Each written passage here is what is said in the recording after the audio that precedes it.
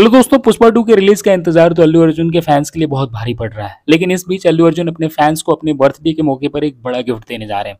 दरअसल साल 2021 में आई अल्लू अर्जुन की super duper hit film Pushpa the rise उस साल की बड़ी हिट फ़िल्म रही थी, और जाते जाते पार्ट टू के लिए लोगों के बीच सस्पेंस छोड़ गई थी। अब अल्लू अर्जुन के फैंस उसी सस्पेंस से पर्दा उठने का इंतज़ार कर रहे हैं।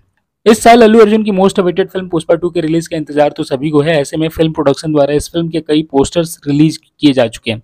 यहाँ तक कि पिछले साल अल्लू अर्जुन के बर्थडे के मौके पर इस फ़िल्म का एक टीजर भी रिलीज़ किया गया था।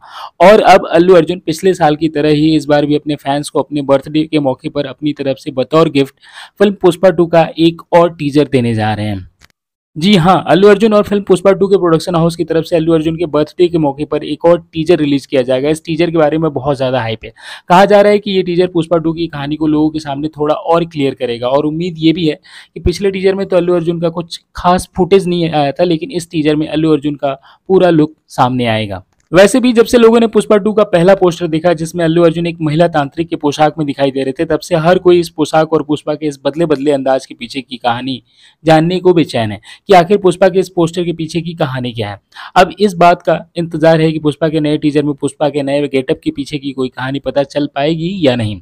फ़िलहाल हमें तो इस फ़िल्म के रिलीज़ का बेसब्री से इंतज़ार है। क्या आप भी इस टीजर और फ़िल्म के रिलीज़ का कर रहे हैं इंतज़ार तो कमेंट कर हमें ज़रूर बताएँ और हमारे चैनल को सब्सक्राइब करना ना भूलें। Thank you so much.